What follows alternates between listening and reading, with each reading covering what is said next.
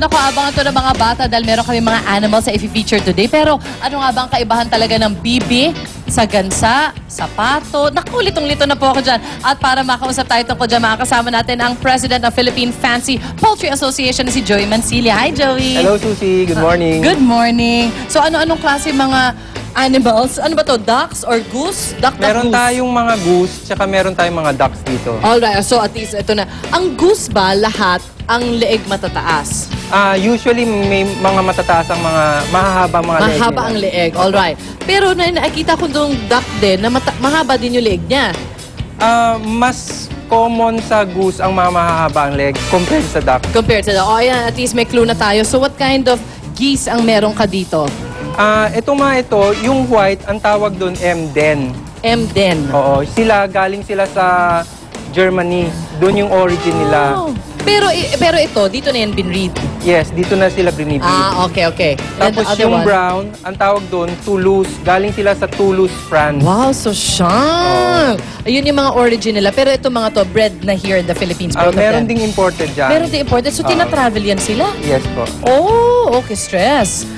And then, ito naman, This one are, are called uh, the Chinese goose. Chinese goose. Okay. So, yan yung makikita sa mga lakes nila sa China, ganyan ba? Oh, bale yung yung forefathers natin nung na, meron silang trade with China, Oo. ah nagpapadala na sila ng mga goose before. So Okay. ito, ano na sa atin to, ah, Kilala- common na sa atin. Kilala na natin Oo. yung mga yan. Ang mga eggs nila, iba-iba din yung size, no? Parang malalaki yung mga um, uh, goose eggs. Ito, kanino to? Ito ito dun sa mga ano ah, tulus na egg ito. Ayun, yung parang kulay gray. Oo. Gaano katagal pag kunwari inupuan nila to? Gaano katagal bago siya mag-hatch? Mga 21 days. Ah, okay, okay. And then, ito, kaninong egg naman ito? Ito sa ah, Chinese goose. Sa China. Gaano sila kadalas mangitlog? Tapos isa-isa lang ba yon? Ah, usually sa isang itlogan nasa 12 ang Ang itlog lalabas sa nila. itlog. Opo. Um, usually naman, kamusta yung parang ano, mortality rate ba yon Yung, ano, yung ilan na nabubuhay? Bale, everyday silang nag egg Tapos, ang nabubuhay naman is mga 10 to 8. Everyday sila nag nangingitlog? Oh, everyday. Wow! Winner! Basta naging adult sila, at may, okay, tas may asawa Productive sila. na sila, Productive oo. na at may asawa na sila. At yun naman yung ating mga ducks. Oo. Ano ang meron tayo dyan? Ang meron tayo dito, itong nandirito, muscovy ang tawag doon. Muscovy. Oh, or sa Tagalog, ang tawag doon, pato. Pato. Oo. Okay. Or bibe.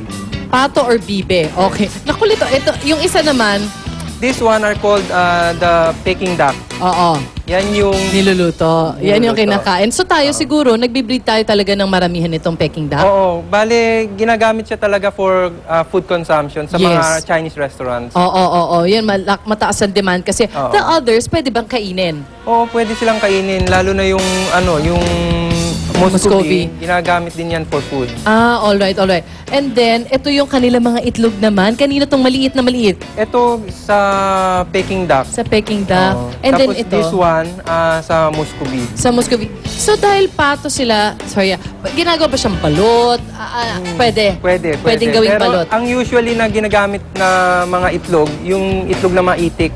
Itik naman. Oo. Pato, bibe, itik. Sumasak na ulo ko. Ayan. So yun, tama, tama. Alam ko yung mga itik. Yun ang ginagawa. Gina, mas sa pateros. popular. Yes. Ah, alright. Nako, maraming salamat sa'yo, Joey, at nilito mo ang buhay ko tungkol dito sa mga pato at gansa. O yan, mga kids and mga mommies and daddies, may ideas na tayo kung ano yung, ang dami palang iba't ibang klase ng mga pato, gansa, bibe, itik. Bahala na po kayo. Mabalik pa unang hirit. Bye.